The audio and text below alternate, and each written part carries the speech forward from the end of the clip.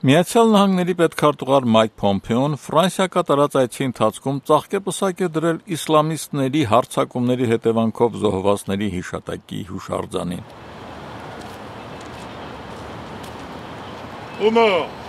Փոմփեոն Փարիզ է ժամանել անցած շաբաթավերջին, բանակցել է Ֆրանսիայի նախագահ Էմանուել Մակրոնի, արտաքին գործերի նախարար Ժան-Իվ Լեդրյանի հետ, քննարկելով նաև Ղարաբաղյան հակամարտության խնդիրները։ Նա Փարիզից մեկնել է Ստամբուլ, Պետդեպարտամենտը ավելի վաղ հայտնելով նրա այցի ծրագիրը նշել էր, որ Թուրքիայի ղեկավարների հետ հանդիպում նախատեսված չէ։ Փոմփեոին այսօր սպասում են Վրաստանում, նրա լայն շրջագայության այցում ընդգրկված են նաև Մերձավոր Արևելքի եւ Ծոցի երկրները։ Ռուսաստանում արձանագրվել է կորոնավիրուսի հետևանքով մեկ օրվա ընթացքում մահացածների ամենաբարձր թիվը։ Իշխանությունները հայտնել են, որ 24 ժամվա մեջ 442 մարդ է մահացել։ Հիվանդությունից մահացածների թիվը Ռուսաստանում ընդհուպ մոտեցել է 34000-ի։ Մեկ օրվա մեջ արձանագրվել է նաև կորոնավիրուսի ավելի քան 22400 նոր դեպք։ Ընդհանուր դեպքերի թիվը մոտենում է 2 միլիոնի։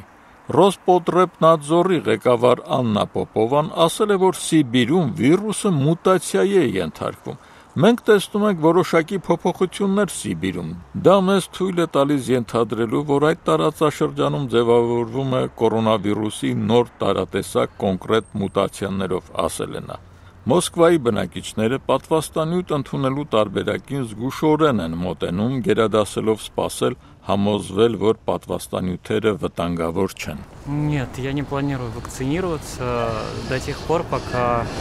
не появится больше подробностей о том, что собой представляет вакцина и э, каково ее действие на большем количестве людей.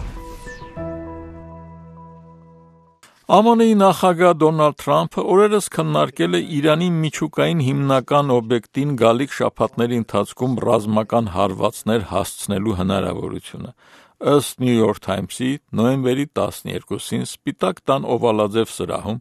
Թրամփը հանդիպել է մի շարք բարձրաստիճան պաշտոնյաների, այդ թվում փոխնախագահ Մայք Փենսի, Պենտագոնի ղեկավարի պաշտոնակատար Քրիստոֆեր Միլլերի, Զինված ուժերի Միացյալ Շտաբների կոմիտեի ղեկավար Մարկ Միլի հետ եւ հարցրել է նրանց այդ հնարավորության մասին, բայց նրանք Թրամփին չեն պաշտպանել։ Reuters-ը այսօր հայտնում է, որ ամերիկացի մի պաշտոնյա հաստատել է, որ նման քննարկում է եղել։ Սպիտակ տունը մեկնաբանությունից հրաժարվել է։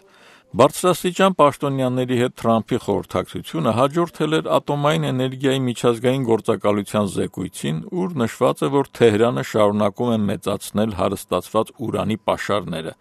ԱՄՆ-ի նախագահի անվտանգության հարցերով խորհրդական Ռոբերտ Օբրայնը երկուշաբթի հրապարակված հարցազրույցում հավաստիացրել է, որ կապահովի լիազորությունների պրոֆեսիոնալ փոխանցումը Ջո Բայդենի թիմին,